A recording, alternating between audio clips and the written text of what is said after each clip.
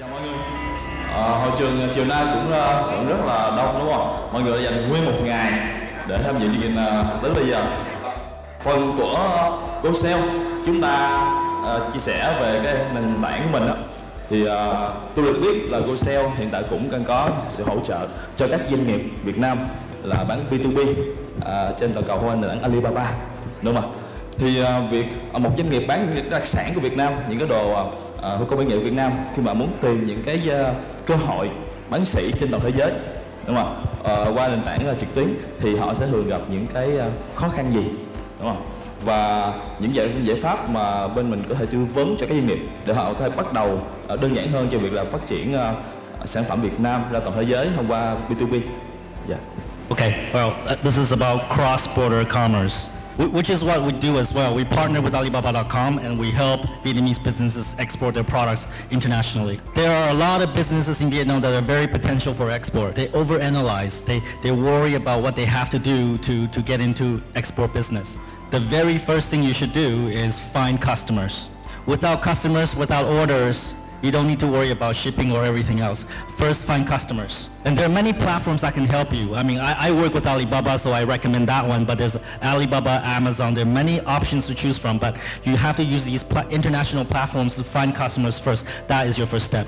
Để có thể triển khai vừa là bán lẻ trong nước, bán lẻ ở cửa hàng, bán lẻ trên các sàn thương mại điện tử, thậm chí là bán ở trên Amazon và bán trên Alibaba, thì cái việc mà vận hành sẽ gặp rất là nhiều khó khăn, à, đúng không ạ? À? Thì à, uh, GoSell có những cái giải pháp nào có thể hỗ trợ cho các doanh nghiệp uh, giải quyết những khó khăn đó khi mà quản lý đa nền tảng trên cả trong nước và quốc tế và các doanh nghiệp để mà có thể xây dựng những cái phần mềm quản lý đó thì uh, hay như GoSell là họ nên outsource xây dựng phần mềm riêng cho công ty của mình hay là sử dụng những nền tảng có sẵn I, I think I understand that question. So, okay, so uh, the question is, uh, how can GoSell help omnichannel and also outsource or or platform? Okay, I'll start with the outsourcing platform, right? So, so when, when traditional retail moved into new retail, you have many options. You can choose a platform and, and build your e-commerce, or you can hire somebody like uh, Smart OSC, you know, they, they will customize the work for you,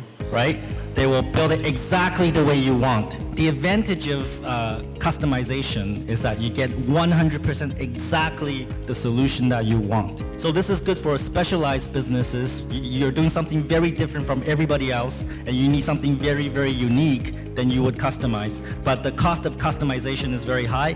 It takes a long time, and uh, the, there's a probability the project will fail. So when you use a, a platform like GoSell, for example, uh, we mitigate that risk for you because everything is already done for you so that you can leverage uh, the, the platform quickly. You can build your e-commerce quickly, low cost, deliver, uh, build a system very fast uh, and, and reduce your risk. Uh, I won't advertise GoSell too much, but we basically, we integrate with Lazada, Shopee, Tiki, Facebook, Google. We integrate with Alibaba.com. We, we are truly omni-channel, like every channel you can think of.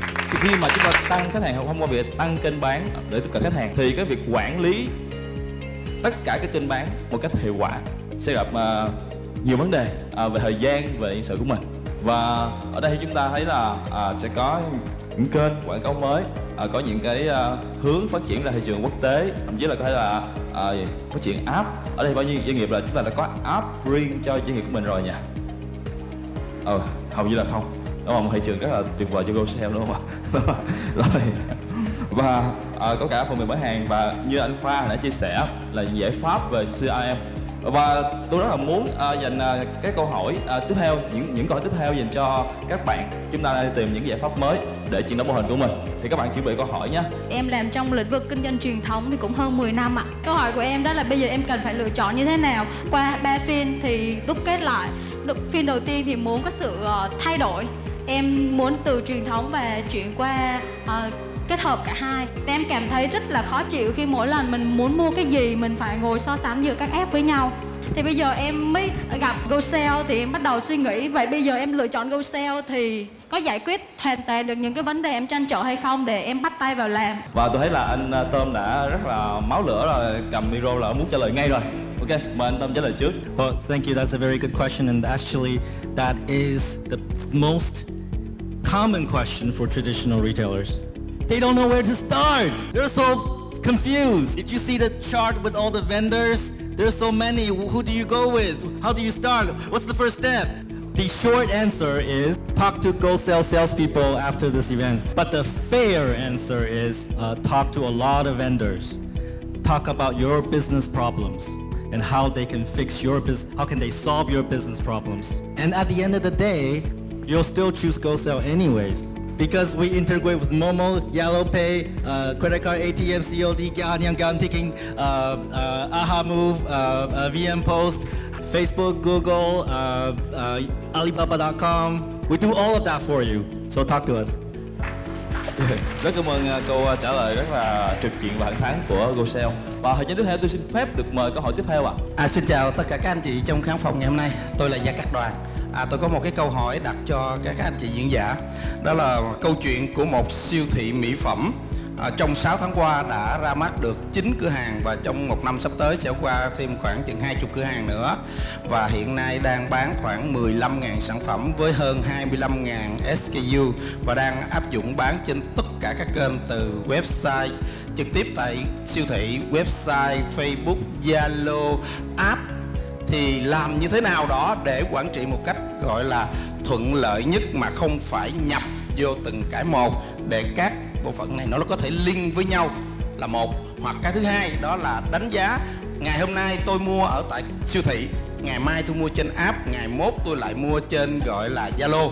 Thì cái thông tin của khách hàng đó được liên với nhau để mà đánh giá mà gọi là tổng cộng lại để mà có thể chiết khấu hoặc là à, tặng quà gì đấy thì các anh chị có giải pháp nào như vậy hay không So yes, I, I understand your pain because a lot of our customers are like that. They, they have a website vendor, they have an app vendor, they have a POS vendor, and they have 90 branches, and they don't know how to, you know, uh, you know, transfer inventory between all those branches. So I'm, I'm sure you probably have to like export the data, import into another system. Yeah, yeah, it's pain in the butt.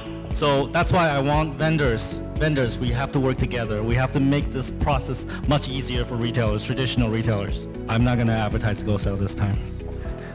Okay. thật sự là để có thể giải quyết được cái um, nỗi đau của anh cái bài toán của anh nó trọn vẹn đúng không thì uh, thường chúng ta sẽ là tự uh, là đặt hàng làm riêng cho mình một cái hệ thống uh, quản lý uh, khách hàng bán hàng mọi thứ uh, gần như là ERP riêng cho công ty của mình và khi đó sẽ là hỏi nếu mình outsource cho những cái doanh nghiệp là công nghệ làm phần mềm thì có thể là cái ngân sách sẽ rất là lớn. Nó sẽ lên tới là 500 triệu một tỷ là bình thường.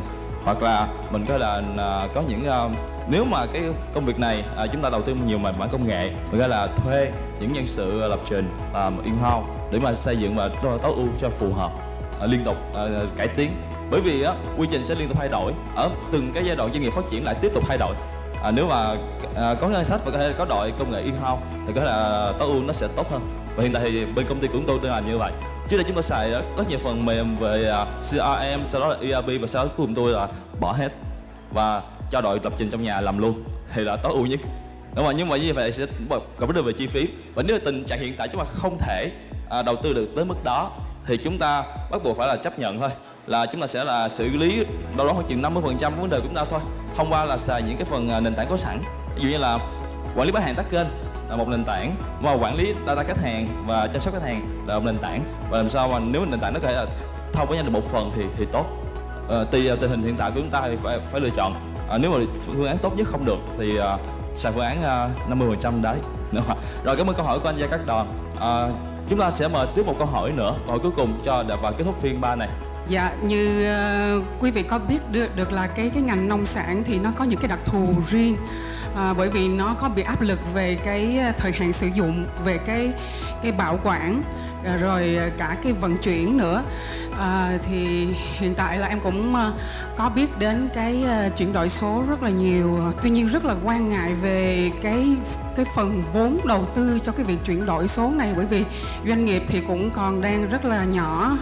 À, và lại là một doanh nghiệp và khởi nghiệp bên bên, bên lĩnh vực nông nghiệp à, thì cũng ờ, không biết là khi mà đầu tư chuyển đổi số thì phải phải phải bắt đầu từ đâu ngay từ lúc mà mình còn vốn thấp như thế này.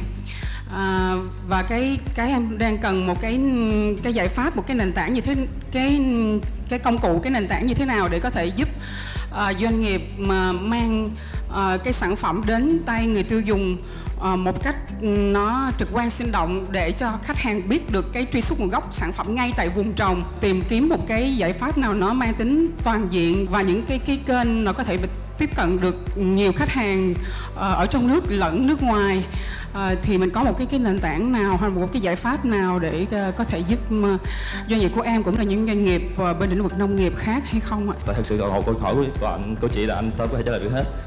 Hiện tại thì tôi nghe chị nói là chị có tạo trang trên Alibaba, chị có tạo trang này trang kia mà chị có livestream luôn nữa, có lên YouTube luôn nữa mà cảm thấy nó không hiệu quả. Một doanh nghiệp nhỏ siêu nhỏ không thể cùng một lúc chuyển đổi số toàn diện được.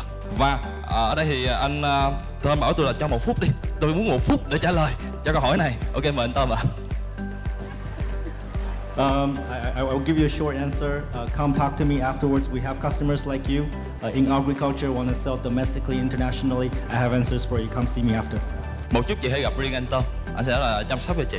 Đúng rồi rồi câu hỏi vừa rồi cũng đã kết thúc cái thời gian của phiên 3 của chúng ta. À, mời các uh, diễn giả hai bước lên phía trước để chúng ta chụp một tấm hình lưu niệm và nhận quà tri ân từ ban tổ chức.